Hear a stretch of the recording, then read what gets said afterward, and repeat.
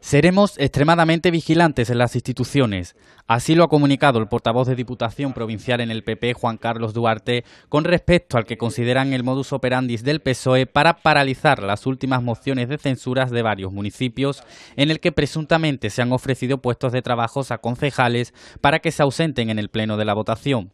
El último ha tenido lugar en Bollullos, cuando uno de los concejales de Independientes por Bollullos recibió una supuesta compra de voluntades para paralizar la moción de censura que arrebató la alcaldía al ya exalcalde del PSOE, Rubén Rodríguez.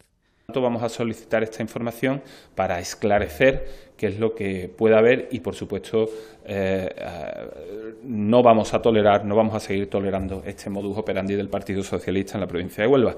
Duarte ha destacado el último caso de moción de censura en el ayuntamiento de Isla Cristina, en el que asegura que también investigarán y solicitarán información no, queremos pensar, evidentemente, pues que detrás de esta moción tan particular pues pueda estar la misma mano negra que, que hablaba antes.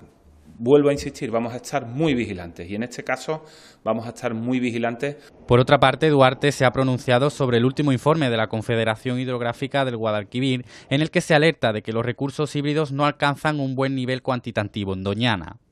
Desde el PP lamentan esta situación, pero estiman que algunas instituciones acusan a la responsabilidad a los agricultores.